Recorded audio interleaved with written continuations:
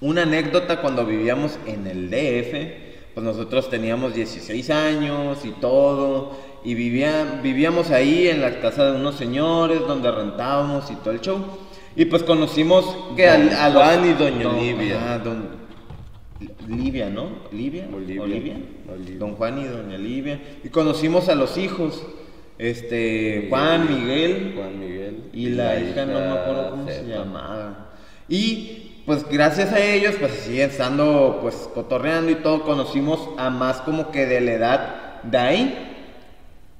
Y ya conocimos a varias este, amigas y diferentes amigos y todo el show. Y ya, estuvimos cotorreando y en una de esas pues nos dice, hey, ¿qué onda? Va a haber una tardeada. Como tardeada, tardeada con banda de rock y que no sé qué, y que bla, bla, bla, y que con raperos y que no sé qué, y así. Nosotros, órale, pues suena chingón. Nosotros dijimos, ay, güey, pues vamos a ir a nuestra primera fiesta acá alcohol, banda de rock, raperos y todo el pedo. Y dijimos, oh, va a estar chingón, va a estar chido. O sea, pues vamos a ver qué rollo. En ese, pues nosotros nada, nada, nada de alcohol. Y ya llegamos y todo. Y Simón había, era un chingo de, de, de morros de nuestra edad. 16, 17, 18, 19, 20, 21 años, pues o sea, se veían morros todos y era una casa como de dos pisos, algo así, a lo que me acuerdo. Pero no había mucha gente. Pues sí, éramos como unos 20, unos 20, de 20 a 30 Ya, personas. Güey, era nuestra primera experiencia de party en, en una casa, porque acuérdate que nosotros nos fuimos a tercero de prepa, nos fuimos de, de Tijuana al DF. Entonces en realidad no nos tocaban las fiestas de casa, pues de que la tarde, noche, que la pues iba a haber pisto, que si no, que agarrar cura, que bailar o así, pues no nos habían tocado, era de las primeras. Y ya llegamos y nosotros, oh, a huevo, que no sé qué. Ah, pues vamos a ver qué hay de tomar. Y ya llegamos, no, pues pura soda, refresco, este, y no veíamos a nadie tomando. A nosotros no nos causó ninguna, o sea, no se nos hizo extraño, pero ya después sí te quedas como que, ay, güey, pues con razón no había nada y ponche y todo el show. No, ah, pues chingón, chingón, un ponchecito acá. Y ya tomando este ponchecito y todo, y había una banda de rock. Y ya pues nosotros, eh, vénganse, vénganse todos a, ¿cómo se dice? Este, vénganse todos acá al moshpit y así pues estar en, en medio de la banda, ¿no? Agarrando cura. Y ya nos vamos y andamos ahí, eh, ta, ta, ta, ta, ta, ta, ta. Y de esas, de esas como que, pues está el sonido, pero escuchas más la música de la batería, de la guitarra. Y el que habla y el que canta, pues no se le escucha bien, se le escucha feo, se le escucha distorsionado. Y como que no le pones atención a, las, a, a lo que A dice. ¿no? A la letra. Y ya nosotros ahí, ta, ta, ta, ta, ta, ta, ta, y de todo, y de repente, como que, como que grita algo el vocalista, no sé qué, esto. Y ya, y todos gritan, ¡Cristo! Ya, cabrón. Te quedas como, nos quedamos así como que, ¿qué pedo? Como que, ¿qué pedo?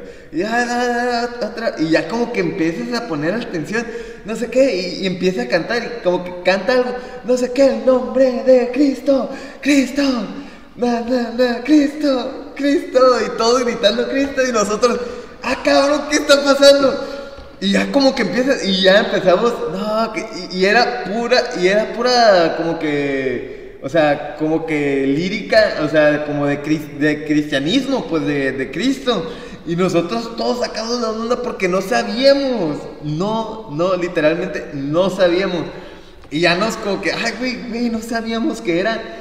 O sea, sabíamos que ellos estaban en, o sea, los de la casa y los que conocíamos estaban en la religión cristiana y todo eso, pero no sabíamos que era un evento, pues, de, de, de ellos. Y sí, resultó ser que era un evento, luego llegó una, una rapera, ¿no? Como una, sí, la rapera, ¿cómo se La- llamaba? No me acuerdo cómo se llama. Jace o Josalino, algo así. Ahí toda la, todavía la tengo en Facebook yo a ella. Ah, me acuerdo que La sí. embajadora. La embajadora, sí, sí. La embajadora, su nombre artístico era La embajadora. JC la embajadora, algo así. Igual, y pues igual se mete y igual rapeando acá de Cristo y de todo, pues todo lo que conlleva la religión. Y pues al final de cuentas, pues queda la experiencia porque sí se nos hizo como que chistoso, este, como que el vivir esa experiencia, como que pues, porque llegas y uno con la inocencia pues no pregunta nada, ni de qué es o qué, pero ya estando ahí, pones atención y sí te das cuenta de muchas cosas. Ahora tenía el sentido de que no hubiera alcohol, este, y pues todo, pero pues muy padre la, la ¿cómo se dice? ese tipo de, de experiencia, ¿no? Que también me acuerdo, me acuerdo, ¿cómo se dice? Una que hicieron como que este, domingos de películas, un día de películas y habrían como que cierto localito donde hacen como sus predicaciones o sus, sus eventos o no me acuerdo cómo les ah, llamaban, tenían películas de...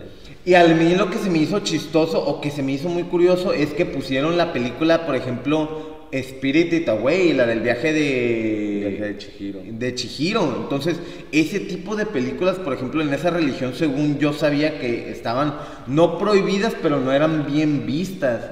Pero ellos, este, yo cuando lo vi dije, ah, cabrón, y sí me acuerdo que le pregunté a uno de, oye, pero ¿por qué pusieron, o sea, por qué esa película?